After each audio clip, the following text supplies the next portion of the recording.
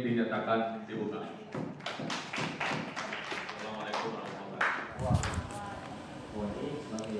Kegiatan rekrutmen dan pelatihan auditor audit mutu akademik internal dilaksanakan oleh Lembaga Penjamin Mutu Institut Agama Islam Negeri Bengkulu.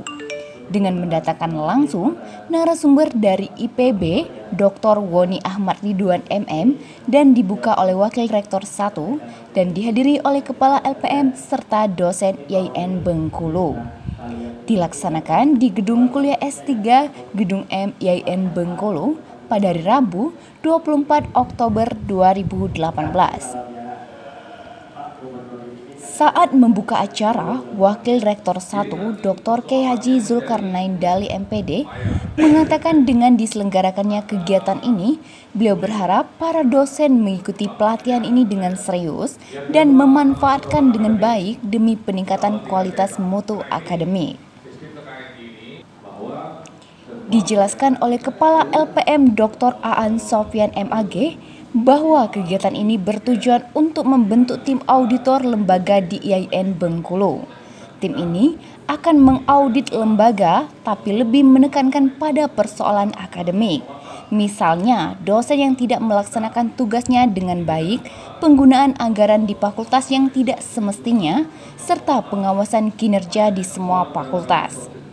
Kegiatan pelatihan apa audit buku internal ini adalah untuk membekali para dosen uh, tentang bagaimana cara untuk mengaudit ya, mengevaluasi dari berbagai kegiatan yang ada di IAIN ini ya mencakup pada Tri Dharma perguruan tinggi.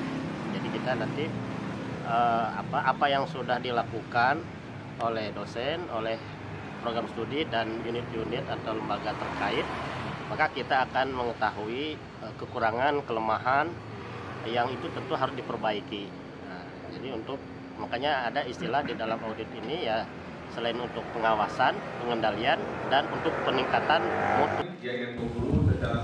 Kegiatan ini dilaksanakan selama dua hari dari tanggal 24 sampai dengan 25 Oktober 2018. Tim Liputan Humas News melaporkan.